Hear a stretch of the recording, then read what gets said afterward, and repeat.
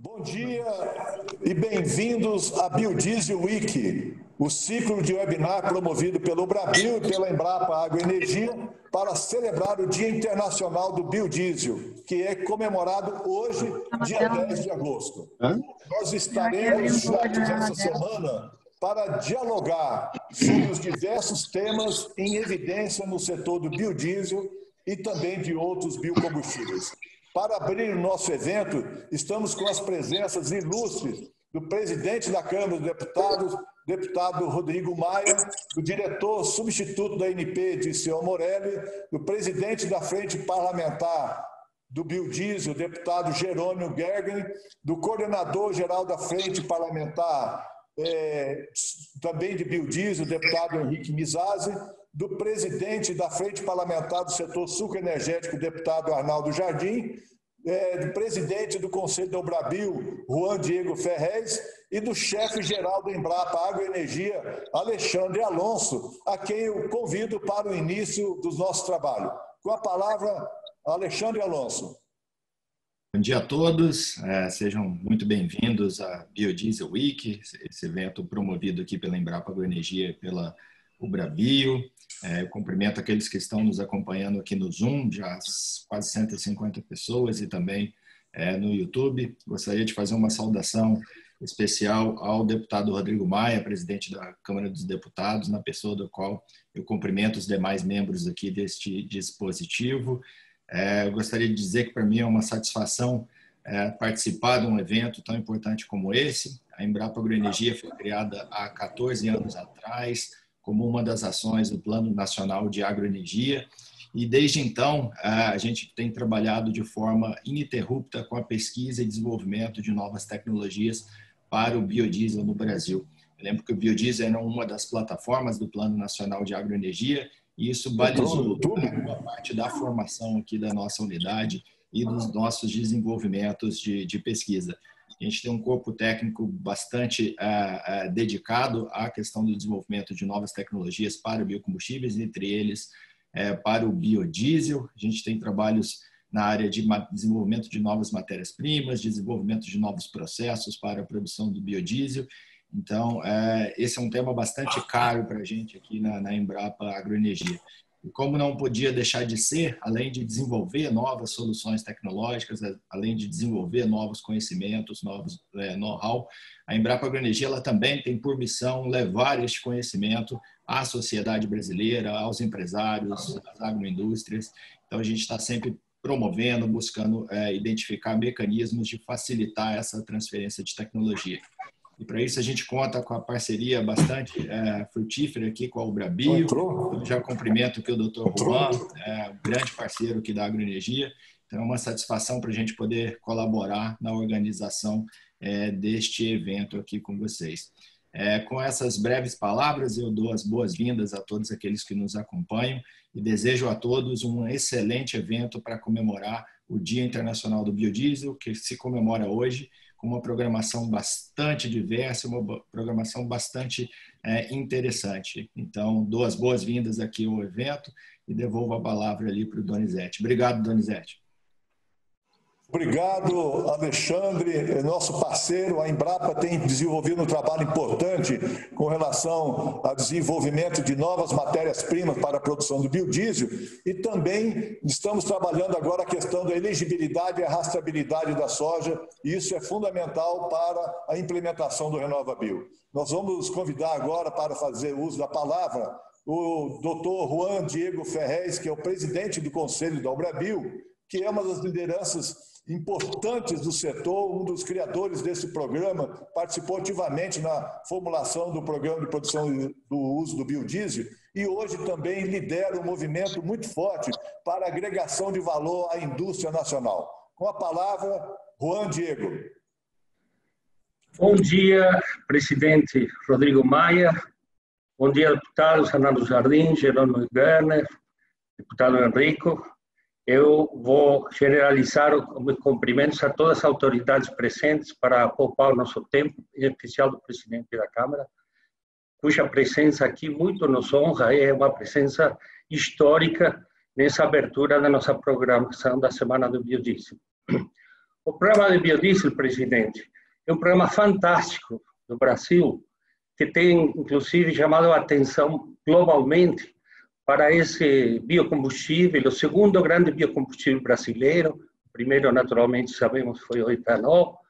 E atualmente já estamos produzindo em torno de 650 mil metros cúbicos de biodiesel por mês, equivalendo aí próximo de 7 milhões 800 mil metros cúbicos de biodiesel por ano. Isso é, representa investimentos enormes em todas as regiões do país, uma cadeia muito grande de empregos diretos e indiretos, estimados em 500 mil empregos, representa o apoio a aproximadamente 100 mil agricultores familiares que anualmente recebem apoio, seja creditício, seja técnico, seja de eh, organização para as atividades e os modelos usados na agricultura familiar, cada dia mais modernos e mais próximos da agricultura empresarial. Sem falar das externalidades do programa, da sustentabilidade, em primeiro lugar, global, contribuindo enormemente às metas brasileiras do programa de metas de sustentabilidade acordadas em Paris. E nós temos eh, que falar também da qualidade do ar nesse momento de crise pandêmica do coronavírus, é muito, muito significativa a contribuição das emissões melhores do biodiesel em relação ao diesel de petróleo. Qualquer mistura adicionada de mais 10% do biodiesel ao diesel de petróleo utilizado nas grandes cidades contribui à diminuição das particulados de, de menor calibre, chamados menores de 2,5, a respirabilidade do ar representa menor incidência de câncer e, principalmente, neste caso de pandemia, menor agravamento das consequências do coronavírus nos pulmões. Então, todas essas contribuições são de sobremaneira destacáveis para que o país mereça a atenção não apenas do Executivo, mas também do Congresso Nacional que o senhor preside. Então, eh, nós eh, gostaríamos de destacar, aproveitando esses breves minutos, do único grave problema que a gente depara nesse horizonte tão promissor, tão significativo para o Brasil. Esse problema se relaciona com eh, a questão de agregação de valor no país. Nós não temos uma política adequada já na estrutura tributária antiga que a gente está querendo, através da grande contribuição até do Congresso, no momento, superar essa obsoleta estrutura tributária, um emaranhado oneroso de impostos desordenados, e estamos eh, migrando até para uma reforma tributária sob a sua liderança pessoal, a nossa visão importantíssima. E nós temos enxergado uma grande oportunidade do país em progredir. Gostaria de explicar para o senhor o conceito que a gente generaliza, não é apenas do biodiesel, o país é um país hostil à agregação do país de valor.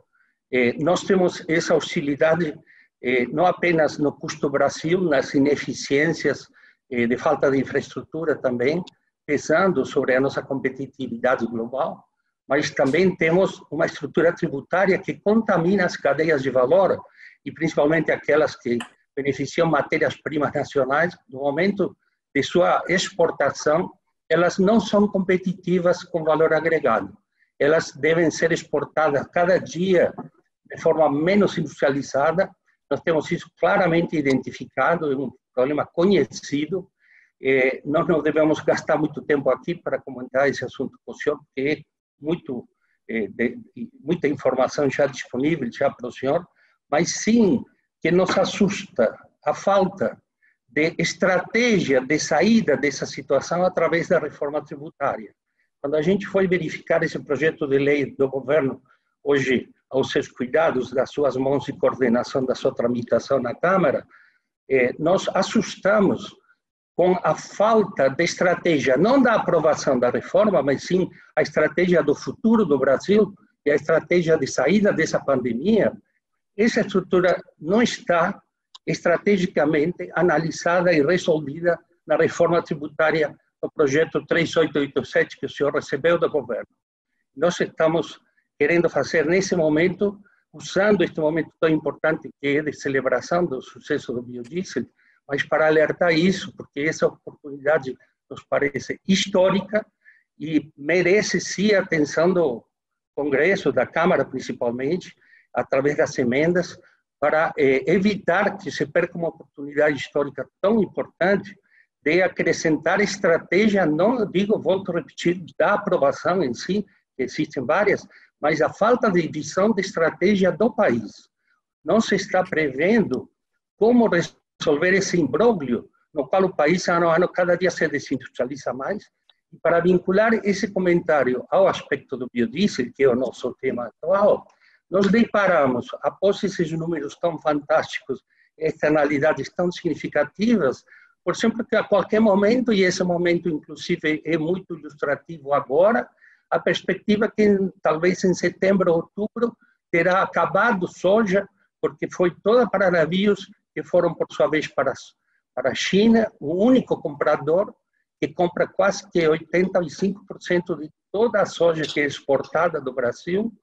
E parece que é um sucesso tremendo, e não deixa de ser um sucesso tremendo, mas seria se não viesse também com um lastro de imprevisibilidade e de destruição, que significaria desconstrução, que nós reparássemos nos meses de outubro, novembro, dezembro, por exemplo, para a falta de farelo de soja, para os enormes plantéis que nós temos de proteína animal, seja suínos, avicultura, eh, eh, lácteos e, e bovinos, inclusive nas cadeias de exportação, e nós temos realmente uma dificuldade muito grande de reter a soja necessária para o esmagamento brasileiro por um único motivo. Ela é sujeita a distorções. Quando a China eh, tem a sua política definida, deixamos bem claro, legitimamente, que os chineses defendem interesses de chineses, nós estamos aqui pregando de que brasileiros defendamos interesses brasileiros, e nós temos uma distorção que premia a importação do grão de soja na China com um imposto apenas 2%, e para importar o óleo ou farelo, que nós também produzimos, eles cobram 14% ou 18%, respectivamente. Então, esse desequilíbrio deveria ter aqui no país uma política de equalização, significaria neutralizar os, as distorções que a China, assim como outros países, impõem ao Brasil para cada um defender os próprios interesses.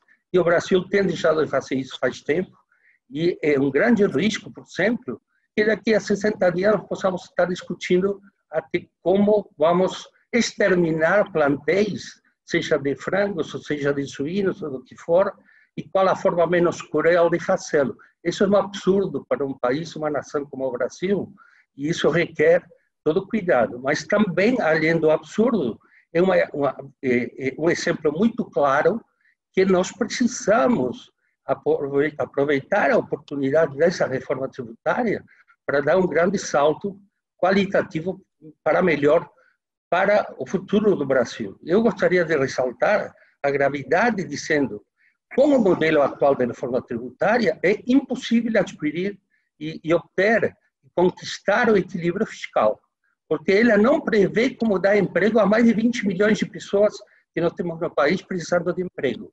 E quando essa reforma tributária não tem nenhuma estratégia básica em relação ao país, e o exemplo maior disso é a hostilidade atual à agregação de valor, nós estamos tomando um risco muito grande de fazer uma reforma tributária extremamente importante, complexa, difícil de aprovar, e depois vermos conclusão que ela vai fracassar porque ela não é viável quanto ao equilíbrio fiscal que ela procura ter, obter.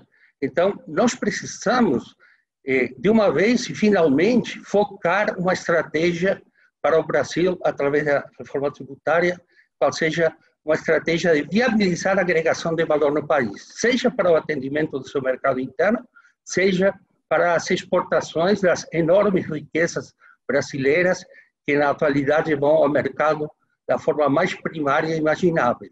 Então, esse é o nosso recado, presidente, com todo respeito. É uma oportunidade nossa ímpar de poder tratar diretamente consigo através deste meio, desta reunião, embora remoto, mas sabemos com sua sensibilidade. Pode, pode entrar. Eu, eu posso, devo me limitar, porque meu tempo está sendo esgotado. Abraço. Tempo. Diego, muito obrigado, muito obrigado, presidente Diego, pelas suas palavras.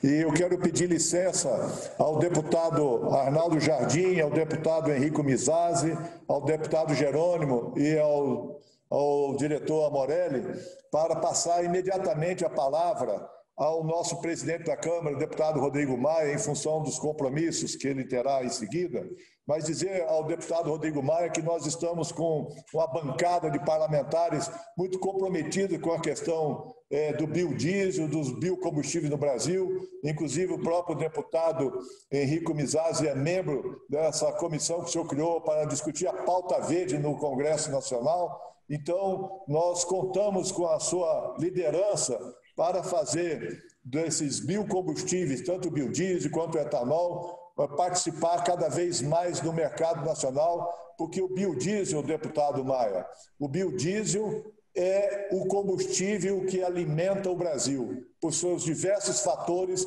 que foi colocado pelo presidente Diego. Com a palavra, o nosso presidente da Câmara, deputado Rodrigo Maia.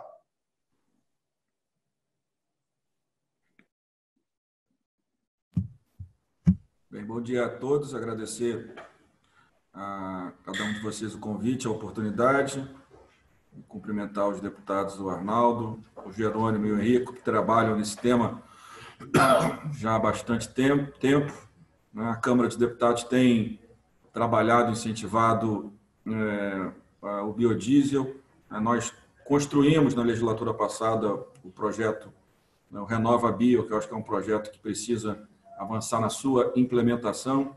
Eu acho que nada mais importante que no momento que o Brasil vive hoje, a gente poder aprofundar, aprofundar esse debate e a importância é, que esse tema tem para o nosso futuro. Né? Nós é, caminharmos é, para combustíveis é, com base renovável. Então, acho que é muito importante que a gente possa fazer esse debate.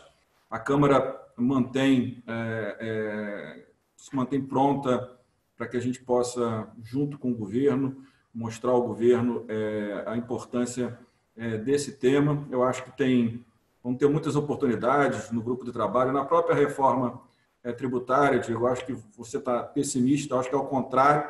Eu acho que a reforma tributária ela tem que ser olhada primeiro é, do ponto de vista é, do Estado brasileiro. Né? O sistema tributário brasileiro hoje ele, ele tributa é, a produção, tributa investimento, tributa exportação, né? quer dizer, significa que a gente exporta com menos competitividade, na maioria das vezes, é, pela, pelo efeito cumulativo de muitos tributos que ainda existem no Brasil. Então, acho que a, a reforma tributária, é, olhando primeiro aspectos é, da Câmara e do Senado, e depois o projeto de lei do governo, que vem com o mesmo objetivo, que é exatamente organizar o sistema tributário, organizar cade as cadeias produtivas no nosso Brasil. E independente das questões do setor A ou do setor B, que muitas vezes acho que há uma interpretação errada em relação aos projetos, e acho que a gente deveria marcar uma reunião né, com, com, os técnicos do, com os técnicos do governo, com o relator da matéria, com o presidente da comissão mista, para que a gente possa discutir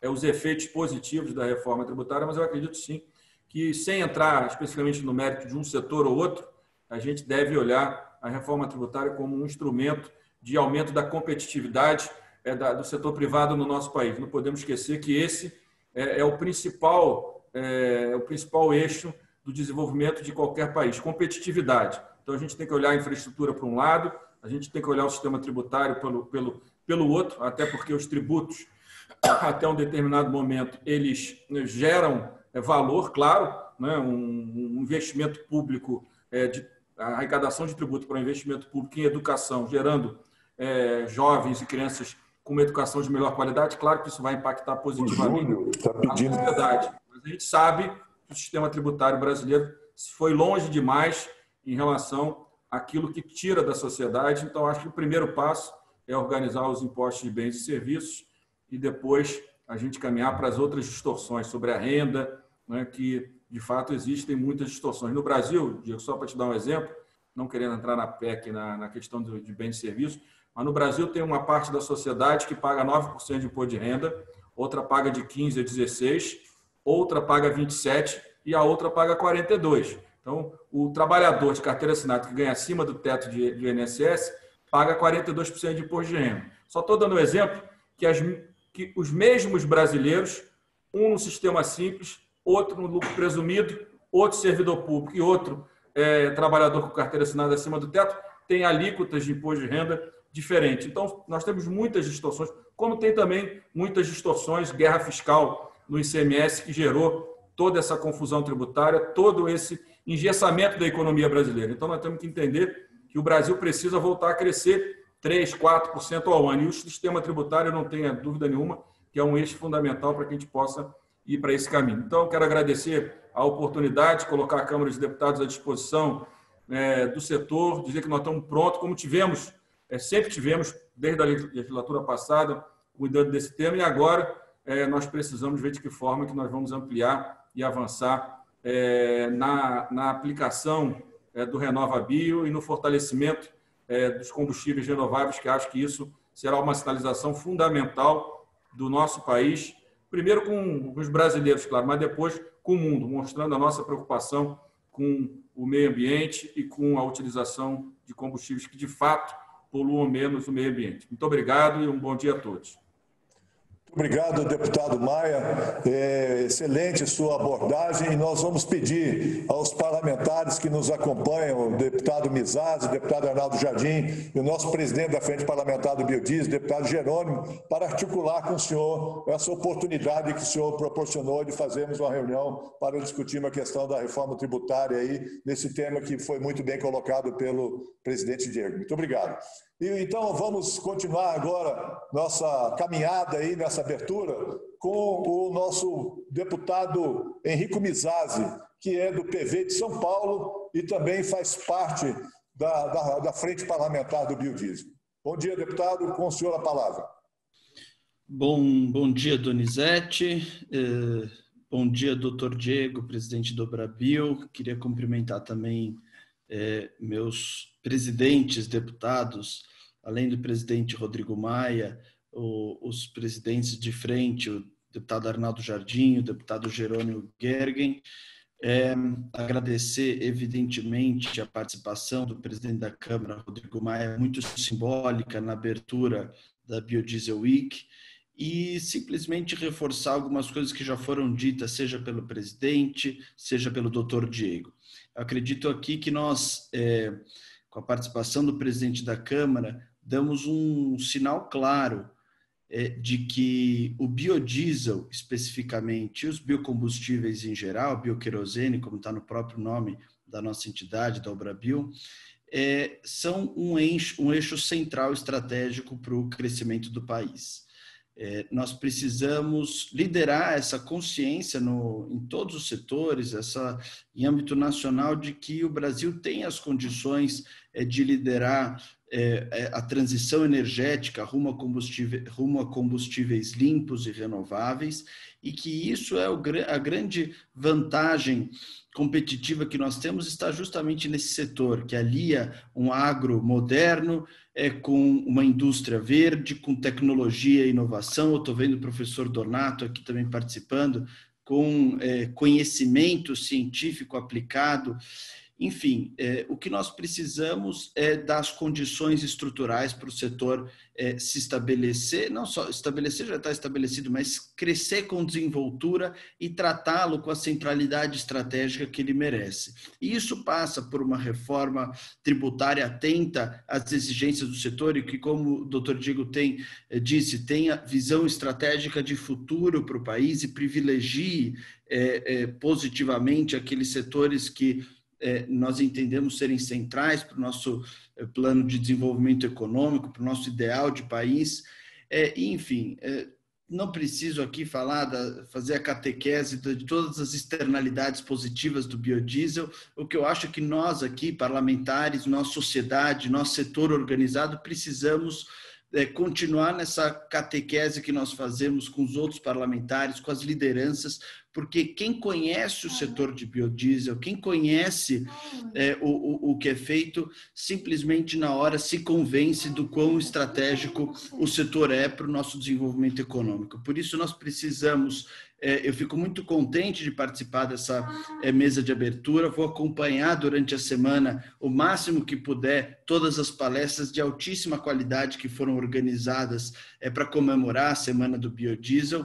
E fico muito contente que nós estejamos todos aqui reunidos, é, com a participação do presidente da Câmara, que hoje, é, politicamente, é a autoridade com maior influência e com maior trânsito, sendo sensibilizado é, da, é, das demandas e das necessidades do setor. E eu acredito que aqui começa uma relação e se sacramenta uma relação que vai dar muitos frutos para o setor, mas mais importante do que isso, para o nosso país. Então, eu agradeço muito o convite de participar dessa mesa de abertura.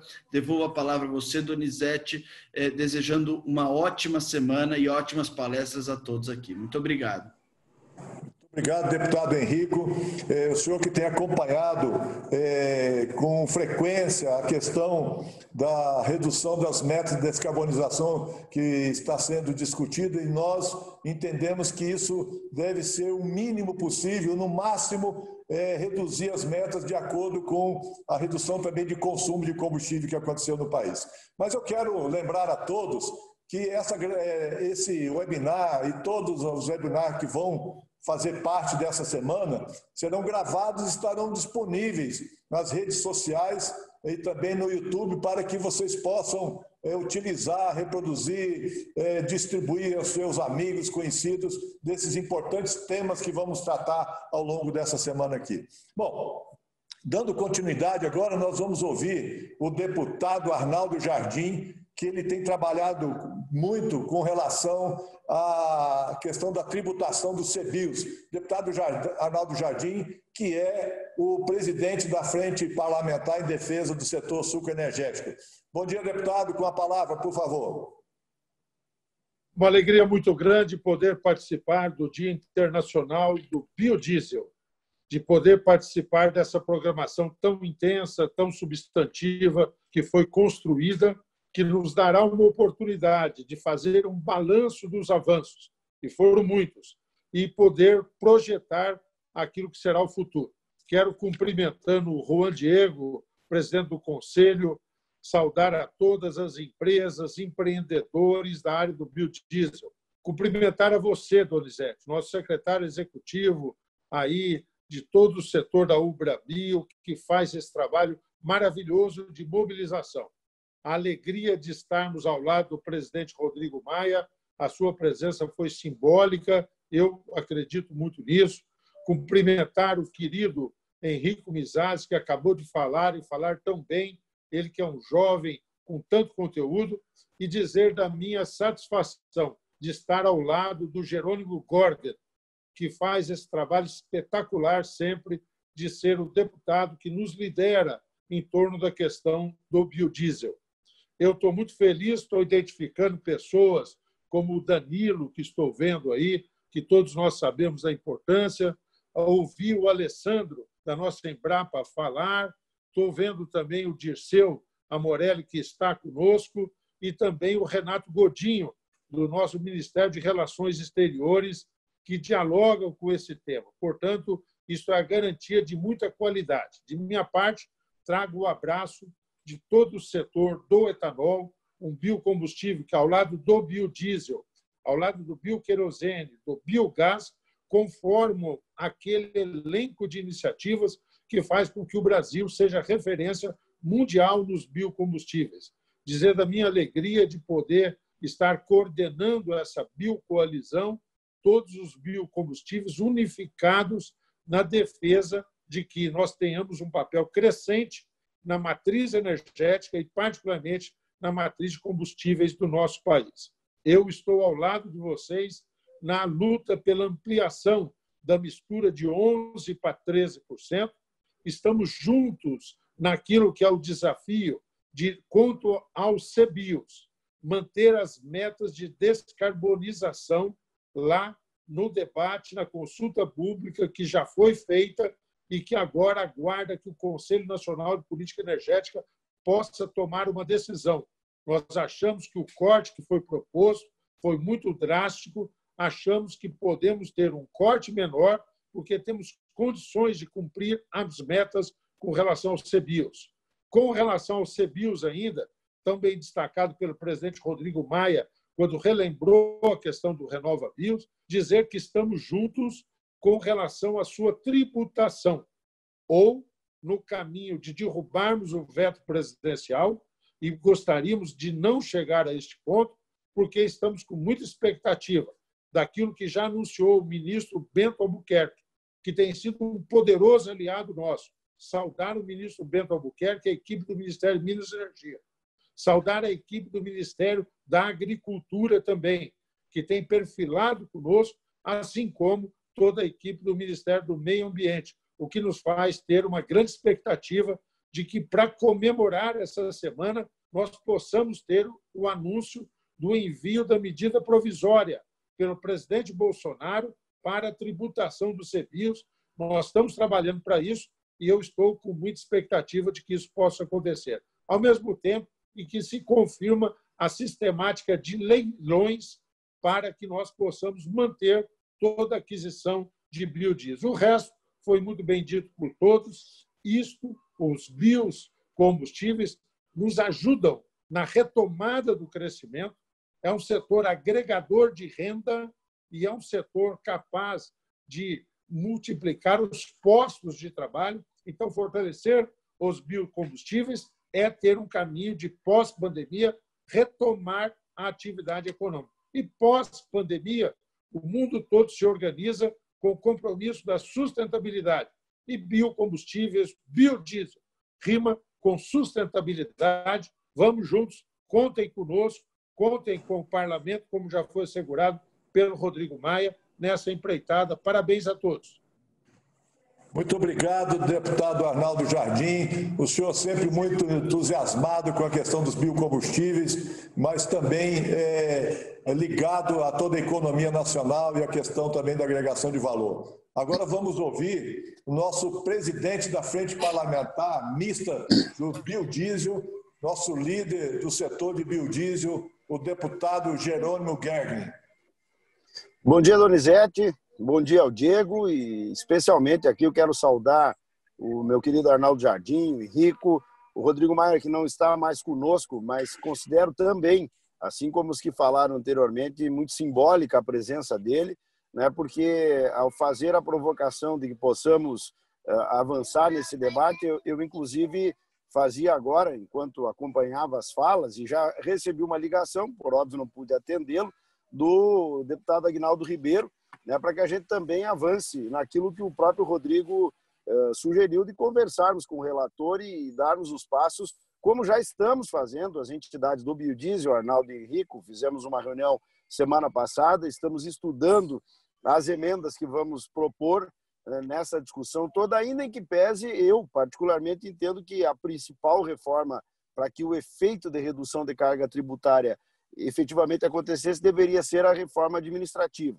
Eu considero que primeiro deveríamos discutir o tamanho do Estado para que a, o tributo pudesse cair. Mas como não é, é essa estratégia, nós temos que lutar com aquilo que está proposto. E o que está proposto é justamente a questão da reforma tributária que nós devemos, ao longo desta semana, termos de parte do biodiesel, e eu penso que é importante, Arnaldo, nós alinharmos é, com o suco alcooleiro para vermos o que é comum, porque aí fortalece a nossa briga no sentido de, de, de trabalharmos para aprovação das emendas, até mesmo da coleta de assinaturas, o que for é, ponto pacífico, a gente trabalharmos juntos e acho que este é um ponto é, extremamente necessário. Né? E, e, ao fazer, Donizete, Diego, é, esse webinar aqui, enfim, essa semana, digamos, do biodiesel, quando comemoramos internacionalmente esse avanço, eu não tenho dúvida que, sob o ponto energético, é estratégico para o Brasil, mas em todos os sentidos, o biocombustível tem um ganho enorme. E é nesse sentido que nós vamos trabalhar. E esse tipo de mobilização que vocês estão fazendo hoje é mais uma força, é mais um marco, é, fortalece o parlamentar, fortalece a frente parlamentar e o parlamento a discutirmos em defesa do setor, é, principalmente do biodiesel, que eu, que eu coordeno, mas de, do, dos biocombustíveis de maneira geral. Muito obrigado, deputado Jerônimo. O senhor tem sido um lutador, um guerreiro aí na questão do biodiesel, foi o criador da frente parlamentar do biodiesel e nós temos sempre a contribuição do senhor aí nesse, né, nos assuntos importantíssimos destacados já pelos nossos é, participantes dessa mesa. E agora vamos ouvir, para encerrar esse primeiro momento da nosso é, dessa semana, é, essa mesa de abertura, vamos ouvir agora o diretor substituto da ANP, Agência Nacional de Petróleo, Gás e Biocombustíveis, o doutor Disseu Amorelli. Com a palavra, nosso diretor Disseu Amorelli. Bom dia, bom dia a todos. É, bom dia, deputado Arnaldo Jardim, deputado Jerônimo. Bom vê-los aqui, mesmo que por, por é, é, é, digitalmente, deputado Henrique, Henrico, é, Mizazi, Donizete, Juan, é, Alexandre, professor Donato, prazer-los, é, prazer vê-los também aqui, agradecer o convite da Ubrabio e da Embrapa para participar dessa mesa de abertura, como todos já citaram aí, com a presença é, importante do, do, do, do, presidente da Câmara, Rodrigo Maia, e a todos que nos escutam aqui. Eu acho que é, todos já falaram é, assim é, bastante aqui, os assuntos bastante pertinentes que a gente está vivendo aqui no momento. Infelizmente, o tempo é curto.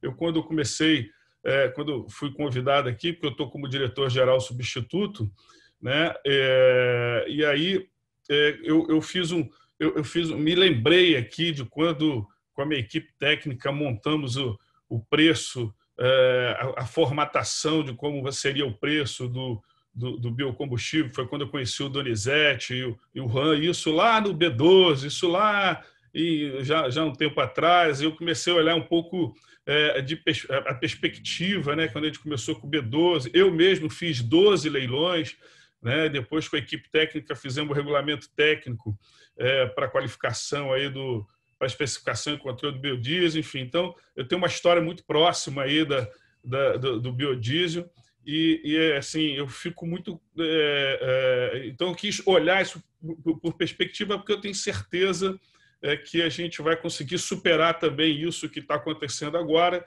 e nós vamos estar falando como naquela época a gente estava conversando lá B3, B5, B12, já estamos no B12, é, e aí vamos conversar daqui a um tempo, vai falar, pô, você lembra aqui que a gente venceu e tal, depois talvez a gente possa até fazer um, um, um apanhado histórico numa palestra é, é, assim específica para isso, porque é muito legal e eu gosto de ver as coisas sob perspectiva. Mas eu vou só para é, é, é, para ilustrar rapidamente aqui, Donizete, eu sei que o tempo está apertado, mas dá um panorama do que é hoje a, a indústria é, do biodiesel rapidamente. Olha só, o Brasil hoje conta com 51 usinas de biodiesel em operação.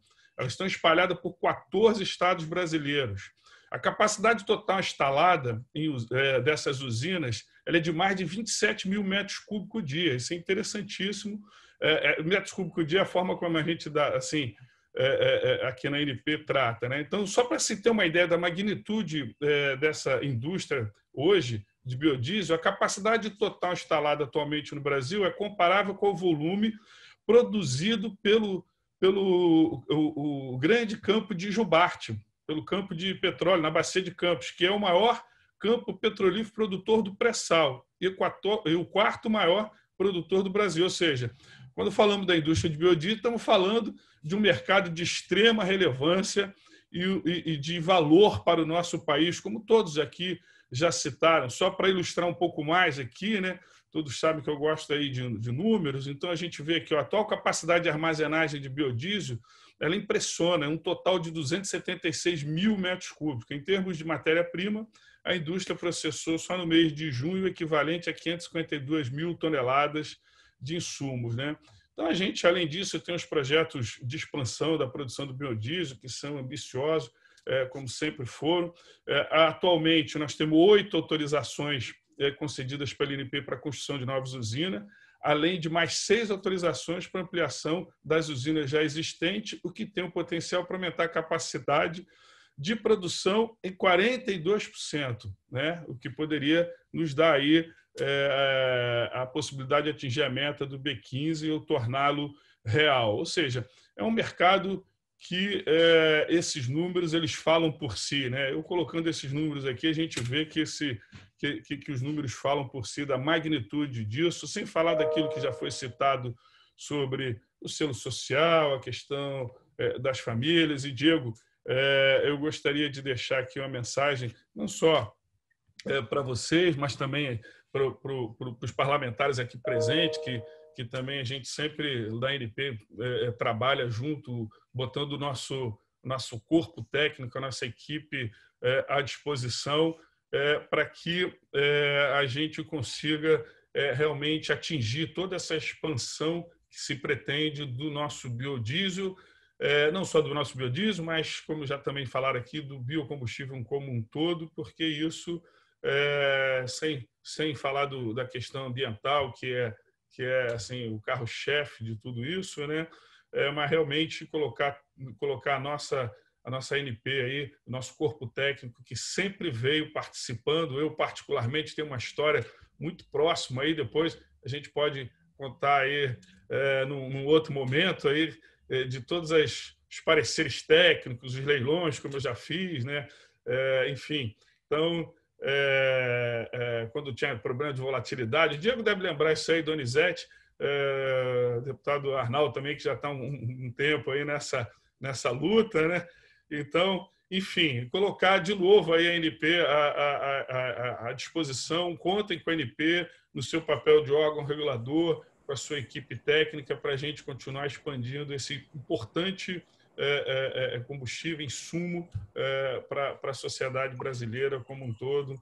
Muito obrigado mais uma vez pelo convite, pelo, pelo e, e agradecer. E por sorte, como o diretor Gutmann, que é o diretor-geral, não, não, não pôde vir, eu acabei tendo que substituir. Mais uma vez, estou eu aqui, o destino me colocando próximo é, do, do, do, do, do biodiesel, é, só que dessa vez agora até na condição de, de diretor aqui. Então, muito obrigado a todos, particularmente também muito agradecido a, a vocês aí. Um, um, um, abraço, uma excelente é, é, é, semana, que, que essa semana possa ser, possam ser discutidas também todas essas questões que, que precisam de superação e a gente saia, como sempre foi é, feito, através do diálogo, da transparência, e, é, mas todos com um objetivo comum. E um pouco atrasado, para todos aqui presentes que não ouvem, um pouco atrasado, mas ainda em tempo. Um feliz dia dos pais também para todos que estão aqui. Ok? Muito obrigado aí e, e encerro aí a minha palavra.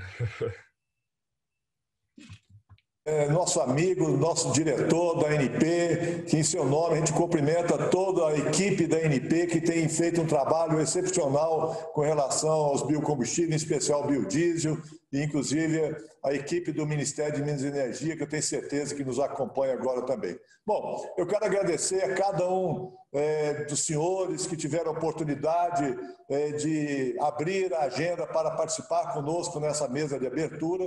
Agora nós vamos dar continuidade ao nosso webinar, que vai tratar do biodiesel no Brasil e no mundo.